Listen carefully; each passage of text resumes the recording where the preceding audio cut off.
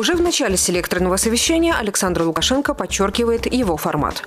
Мне не нужны отчеты со множеством цифр. Я хочу услышать ваше мнение о ситуации в отрасли и перспективах ее развития в каждом регионе. Что касается конкретно Гомельской области, то, по мнению президента, здесь необходимо работать с учетом изменения климата. Что мы будем э, возделывать в Гомельской области? Я понимаю, что у вас по суше было, чем у других. Слушайте, ну у, у вас что? Погода хуже была э, по температурным режимам, чем на юге Украины?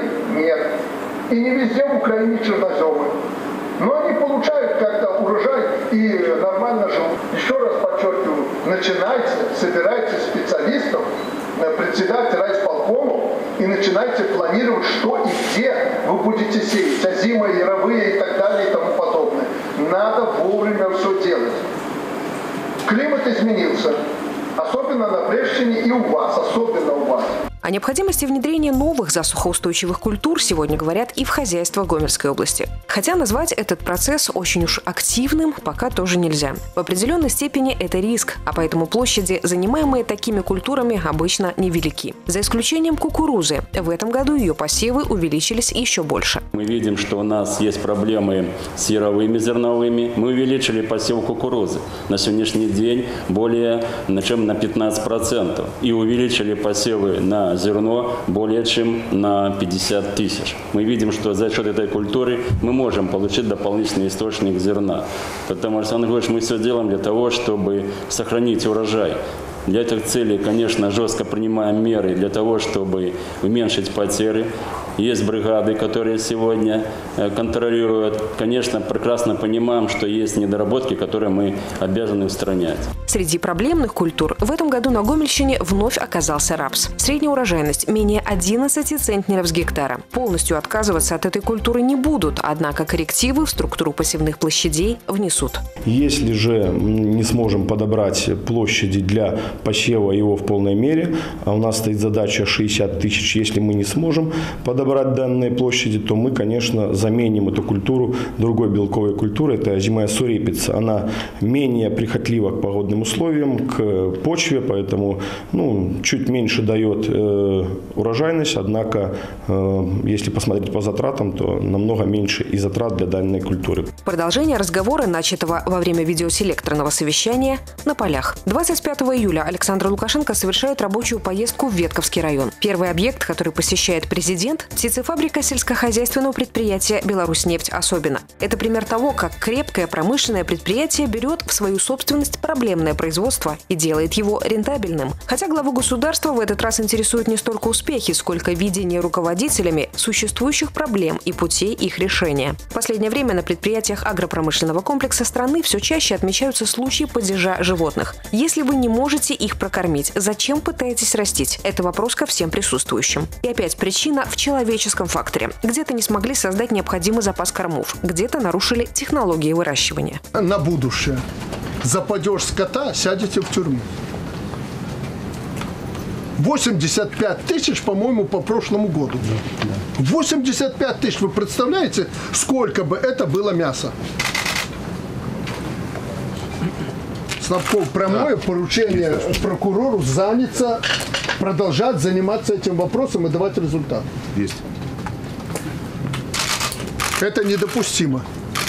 То корма плохие, то то, то это. Это безалаберность. Просто безалаберность. Поэтому обратите на это внимание. Я пока еще по-хорошему с вами разговариваю. На полях сельхозпредприятия «Радуга Агро» разговор о создании новой белорусской зерноуборочной техники и перспективах развития открытого акционерного общества «Гомсельмаш». В последнее время на этом предприятии сложилась непростая экономическая ситуация, вызванная большими складскими запасами машин. После замены руководства на «Гомсельмаше» стали отмечаться положительные изменения. Александр Лукашенко уверен, это предприятие нужно поддержать, однако помощь должна быть обоснованной. Что касается Гомсельмаша, значит, это поручение Турчину. Да. Это э, подключайте правительство, немедленно разбирайтесь. Гомсельмаш есть, был и будет всегда в стране. Вы уже в этом убедились.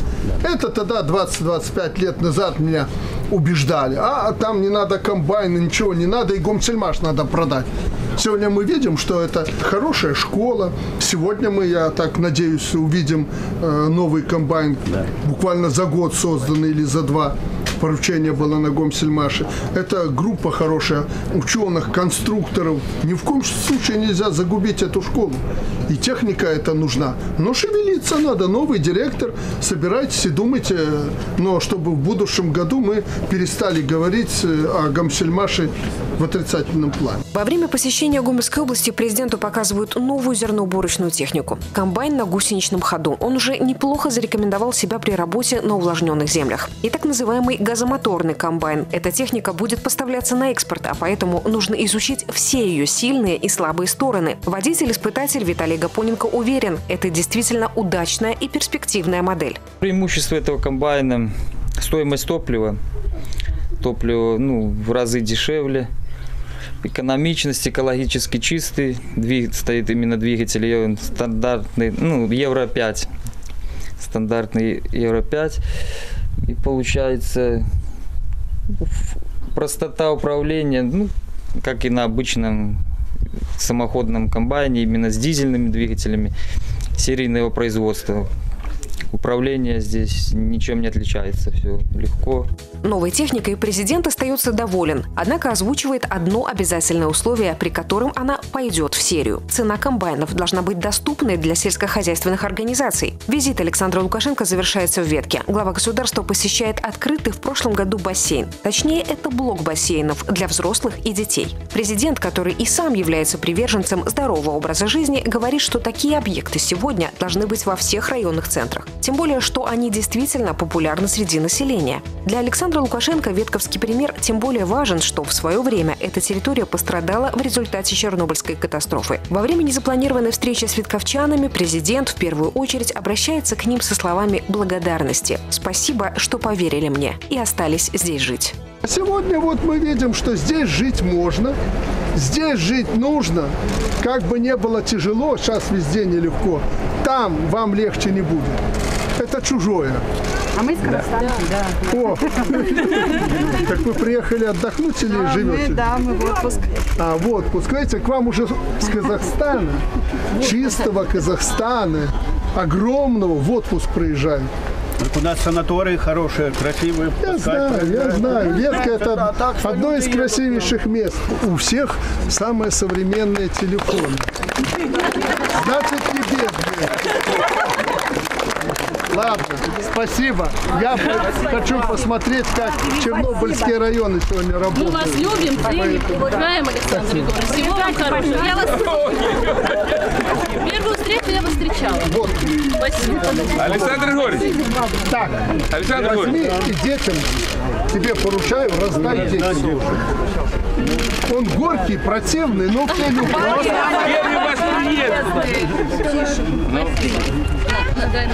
Там детей нет, дети. Да, детям. Спасибо вам. Спасибо. Олег Сенцюров, Ольга Коновалова, Валерий Гапанько. Новости недели.